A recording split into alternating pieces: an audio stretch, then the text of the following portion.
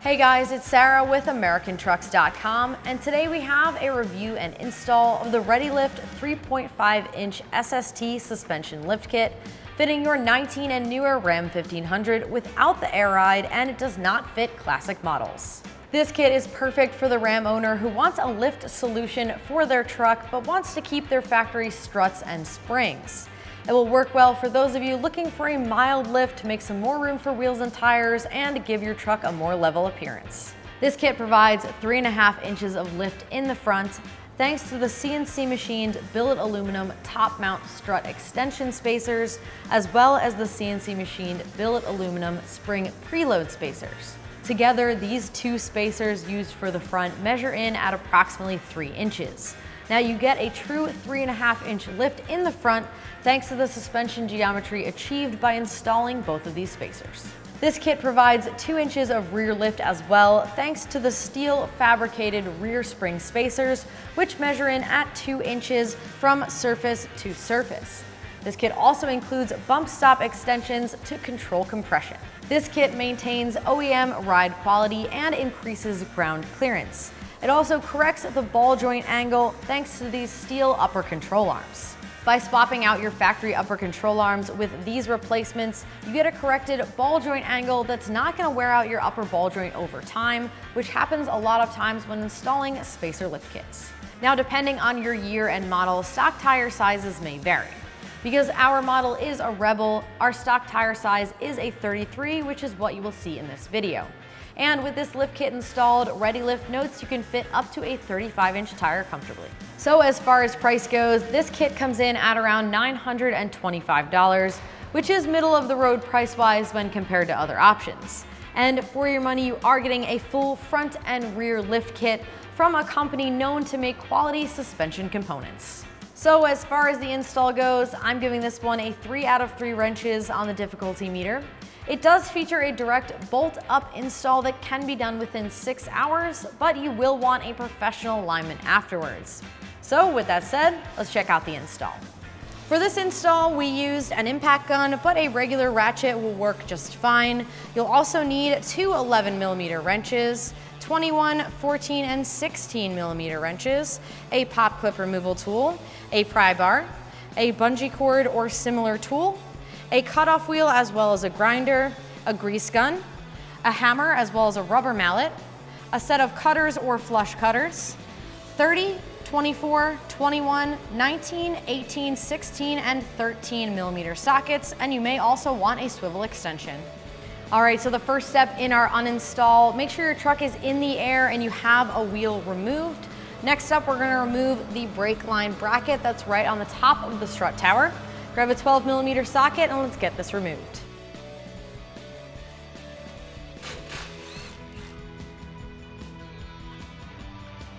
Now with this bolt out, we should have a little bit more slack so we won't don't put too much tension on the brake line. Now just under the upper control arm, you'll see that the ABS line is attached to it. What we're gonna do is with a pop clip removal tool, go ahead and get behind there and remove it from the control arm.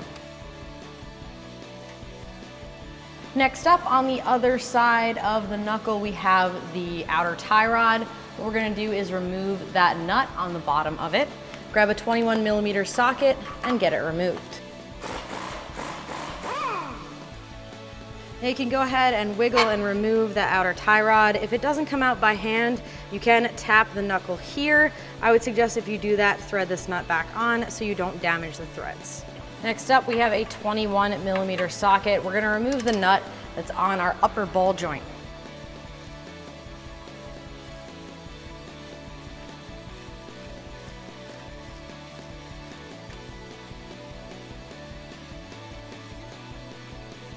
And once we have it most of the way off, we're just gonna leave a few threads on the bottom here because we're gonna need to strike this top of the knuckle to release the upper ball joint.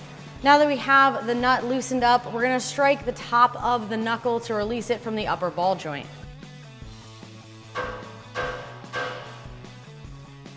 Now using a pry bar, you can pry down on the upper control arm. Remove that 21 millimeter nut and release the upper control arm. to release it out of the knuckle. Next up, we are gonna be removing the axle nut. We do have the top of our knuckle supported so we don't put too much tension on that brake line. We have a 36 millimeter axle nut here. So go ahead and grab a 36 millimeter socket and get it removed.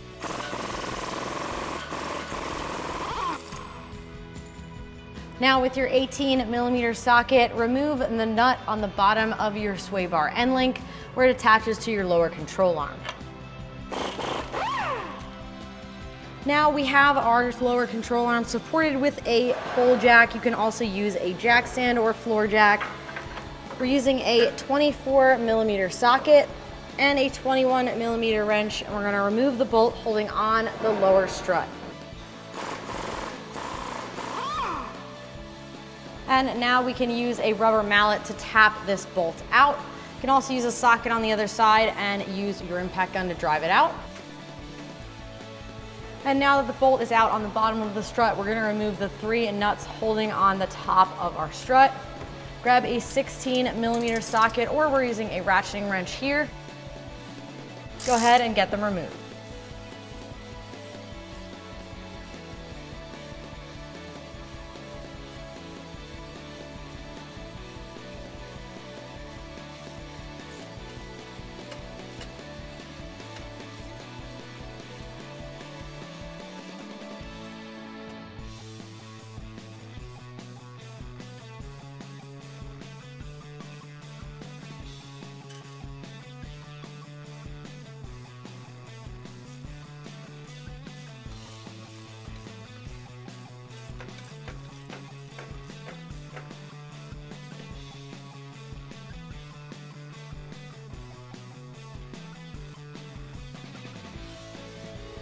Now with all of our bolts removed, we can remove the strut assembly off of the truck. All right, now in order to place our spring preload spacer, we need to compress our strut assembly, remove the top hat, and place it between the top hat and the spring. To do that, we do need a spring compressor. So if you don't have a spring compressor at home or you don't feel comfortable using one, you can definitely take this whole strut assembly to a shop and have them press it in there for you. Now what we're gonna do is we're gonna compress this entire assembly so we can remove that top hat.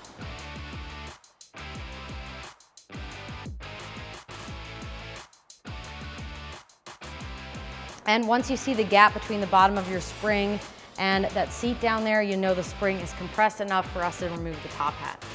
And once the spring is fully compressed, grab your 18 millimeter socket and go ahead and remove the nut on top of the strut.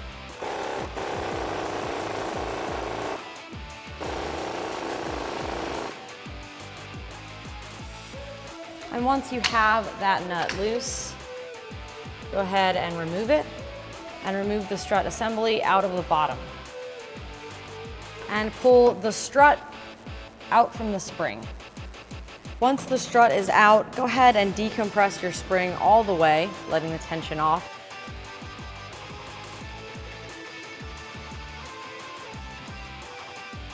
And once it is completely free, what we're gonna do is remove the top as well as the rubber bushing and the sleeve. Now what we're gonna do is disassemble this a tiny bit, remove this top hat from the sleeve and rubber bushing. Then what we're gonna do is leave this piece as is. The spacer is gonna go on top of that. And then the hat goes on top of the spacer. Now this entire assembly can go back into your spring what you wanna do is make sure that the end of your spring lines up with the rubber bushing. With your spacer in place, you can now compress that spring again, enough that you can fit the entire strut back in the bottom of the spring. Then once your spring is compressed, go ahead and slide your strut assembly back through your spring and start to line it up with this bottom notch of your spring. Once it's fully seated, we're gonna reinstall this nut. Now ours was in pretty bad shape coming off, so we did grab a new factory nut. Go ahead and thread it on. And with your 18 millimeter socket, tighten it down.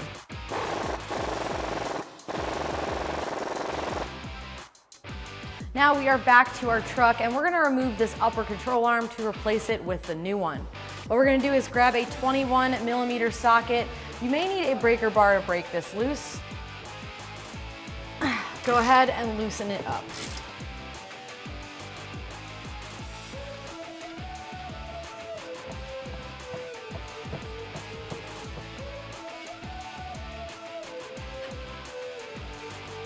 Remove the flag nut as well as the bolt. All right, now go ahead and repeat that on the other side of the control arm to remove the other bolts. You may need a breaker bar to break this loose.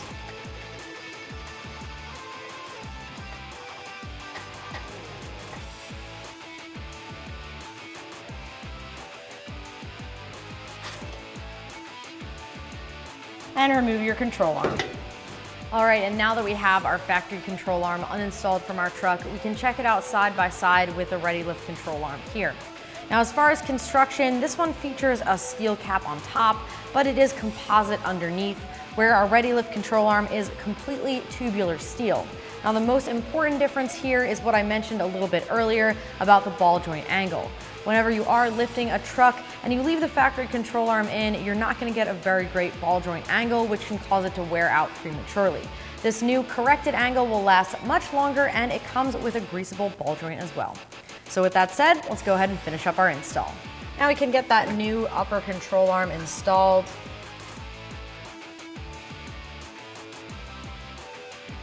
Line up the bolts through each of the arms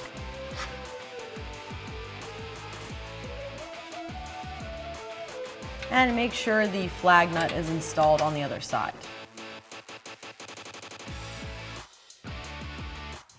Then go ahead and install the factory bolts through the other side. Now if I haven't mentioned already, make sure you have the proper control arm. These are side specific.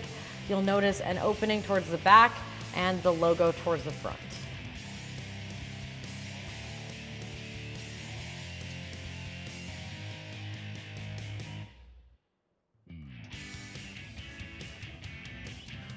Then grab that 21 millimeter socket and tighten it down.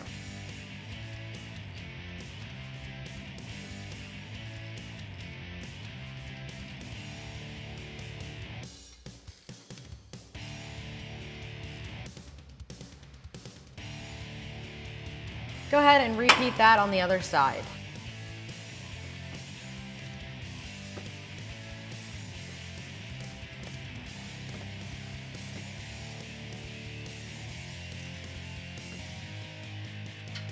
Now, before we can mount this spacer, I did want to point something out here.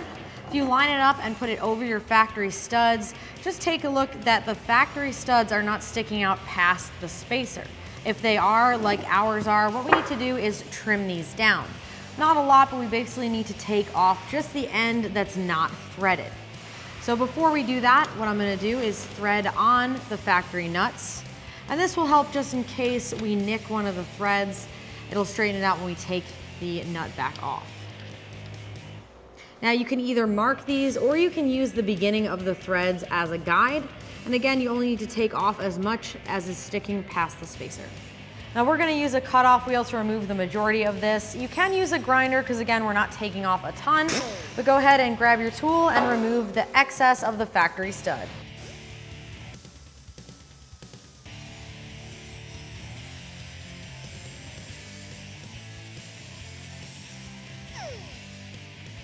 And then once the cut is made, I'm just gonna clean this up with a grinding wheel just to take the sharp edges off. This step is optional.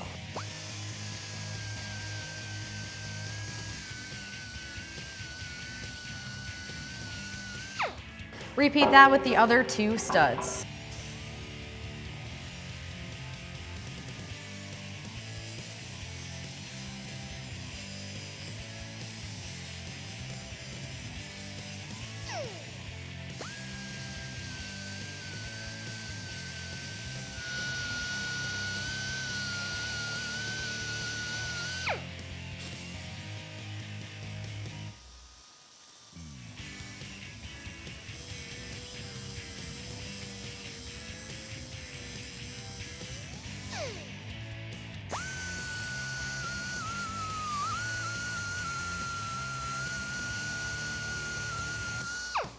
Now that we have all the studs trimmed and cleaned up, go ahead and install the spacer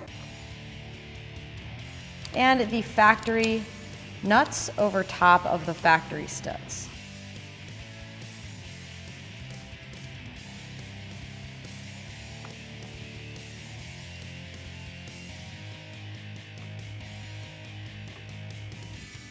Then with your 16 millimeter socket, go ahead and tighten these down.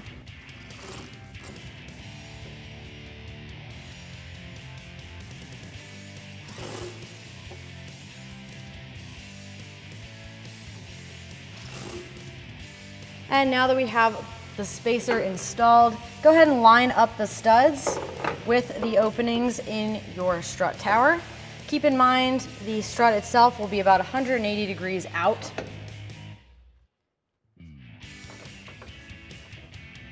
And then with the help of a pry bar, go ahead and line up the bottom. And slide it into place. And once the strut assembly is finally in place, go ahead and thread the included nuts over top of each of the studs.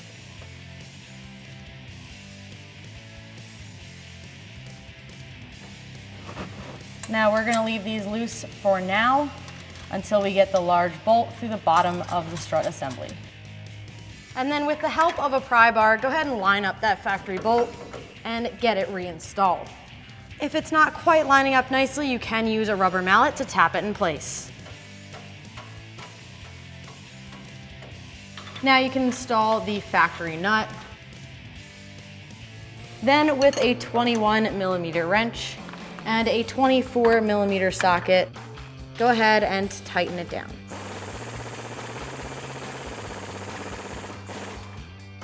Now we're moving on to the nuts on top of the strut assembly. With a 14 millimeter socket or ratcheting wrench, go ahead and tighten these down.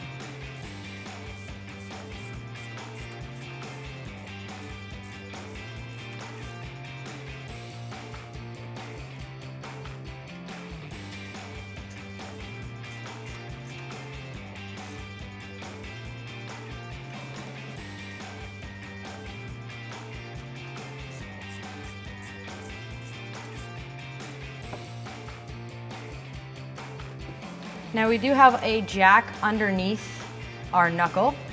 And what we're gonna do is line up the upper control arm with the top of the knuckle. And we're using a jack just to help compress it a little bit so we can get closer.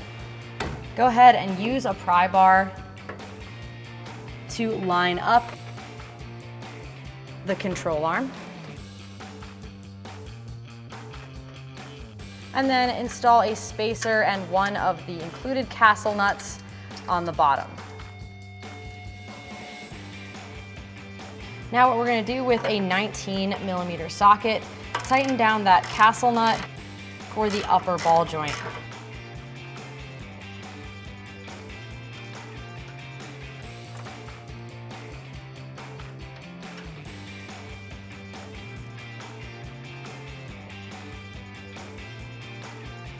Then once that nut is all the way tight and in place, install the cotter pin through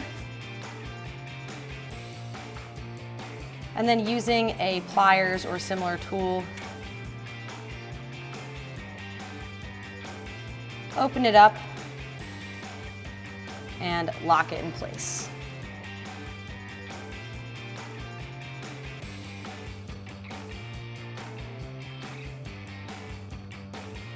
With that in place, we now need to grease the ball joint. The grease gun here, I'm just popping it over top of the fitting, the grease fitting on top. And we're just going to pump it up and insert enough grease to expand the rubber in the ball joint below it. And just be careful not to over grease these.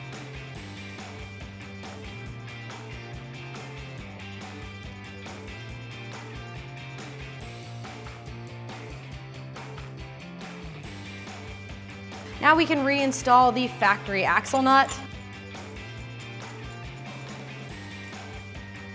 And with your 36 millimeter socket, go ahead and tighten it down. Now you can install your outer tie rod into the knuckle. Grab the factory hardware and get it threaded on. Then with your 21 millimeter socket, go ahead and tighten it down. Now you can reinstall the factory bolt holding your brake line onto the strut tower. And with your 13 millimeter socket, go ahead and tighten it down. And finally, reinstall your sway bar end link. Now, if you're not doing both sides simultaneously, I would leave this disconnected until every side is done and then install both of these last. But once you're ready, grab an 18 millimeter socket and tighten it down. All right, now that the passenger side is complete, repeat all of those steps to install the driver's side. Make sure everything is torqued to spec, and once you're done, we'll move on to the rear install.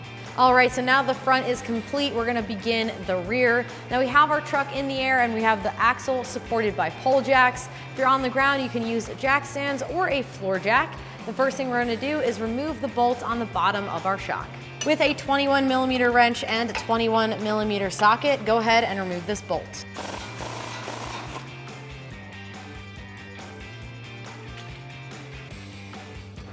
Now you may need to go up or down on the jack in order to take the tension off of the shock and remove the bolt.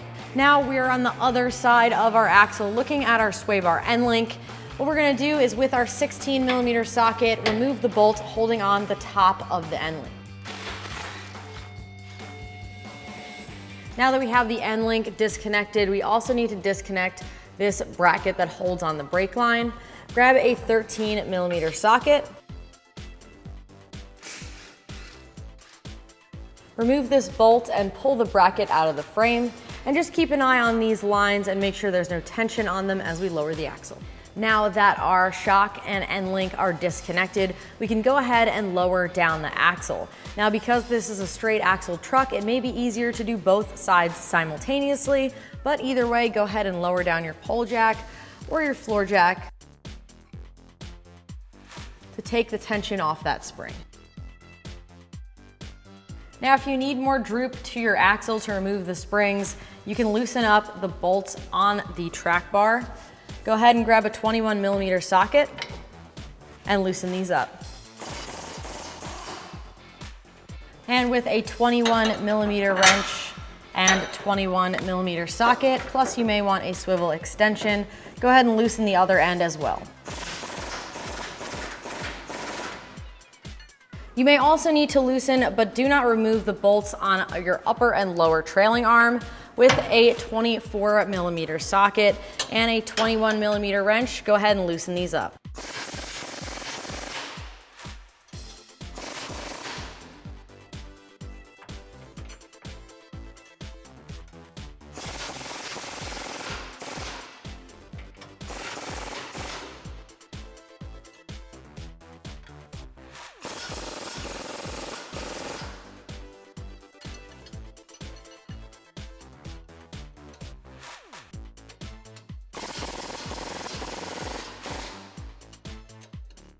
Now continue to lower down that axle until your spring comes completely loose. Then go ahead and remove the spring as well as the rubber isolator on top. Now we have just the rubber isolator on the table here and before we can get our spacer installed, what we need to do is trim these two posts so that the spacer can sit nicely on top of here. I have a flush cutters here, you can use a regular cutters, but try to get this as flush with the top as you can go ahead and snip these rubber posts.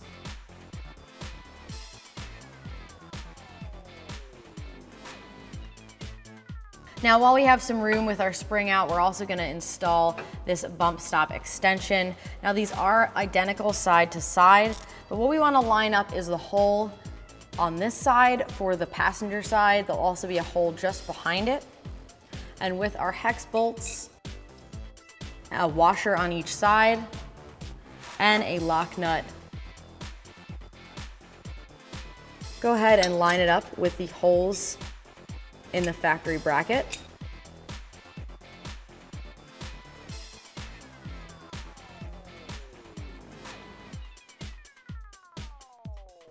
And then go ahead and line up your hex bolt with a washer and lock washer.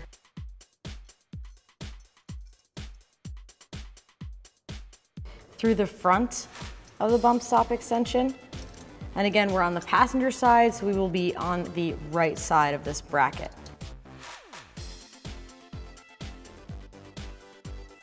Now we're gonna grab two 11 millimeter wrenches. I have one ratcheting wrench here as well. And then what we're gonna do is tighten this down.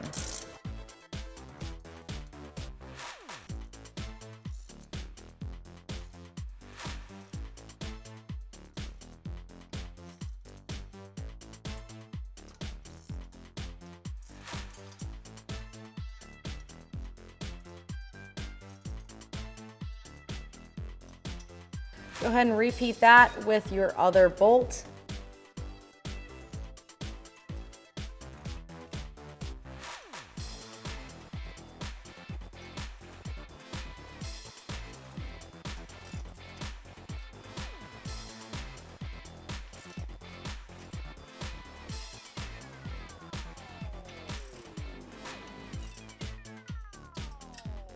Now we're gonna place the modified rubber isolator on top of the spring and place the spacer inside that.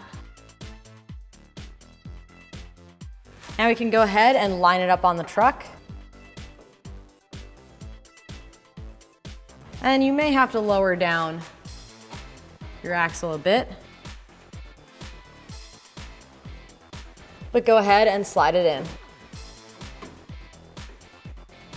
Now at this point, you're gonna wanna catch the other side up to this point. Make sure both springs are in with their spacer on top, and then we can raise the axle up together and bolt everything back down.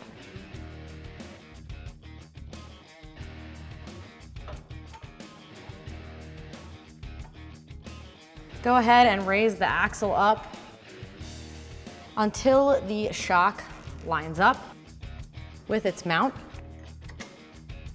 and reinstall the factory hardware. Then with your 21 millimeter socket and wrench, go ahead and tighten it down. Now reinstall the sway bar end link.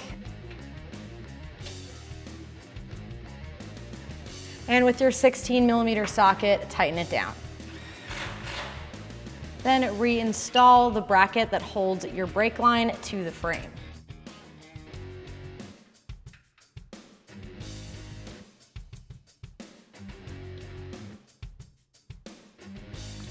And with your 13 millimeter socket, tighten it down. And now we have the truck on the ground so the suspension can settle. And what we're gonna do is tighten down this bar as well as the trailing arms. Grab a 21 millimeter socket and a 21 millimeter wrench and tighten this down.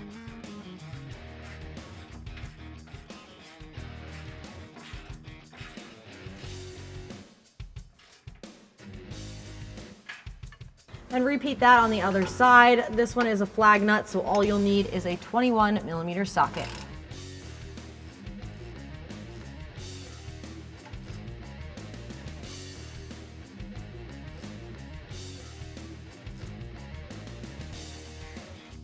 Now grab that 21 millimeter wrench and 24 millimeter socket. Go ahead and tighten down your trailing arm bolt.